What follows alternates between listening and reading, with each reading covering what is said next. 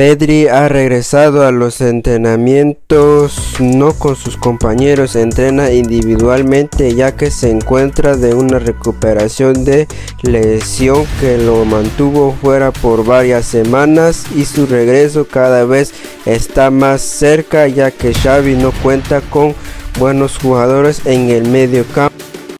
y tres partidos de sanción a Nacho por la dura entrada que le hizo al jugador del Girona. Nacho se perdería el clásico y otros dos partidos más.